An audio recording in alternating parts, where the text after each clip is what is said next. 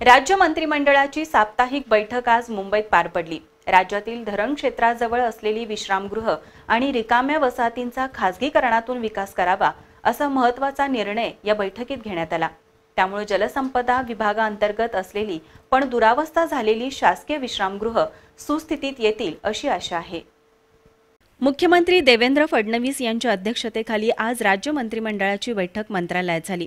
पंढरपूरच्या मंदिरातही नियमांमध्ये सुधारणा करण्याचा निर्णय या बैठकीत घेण्यात आला.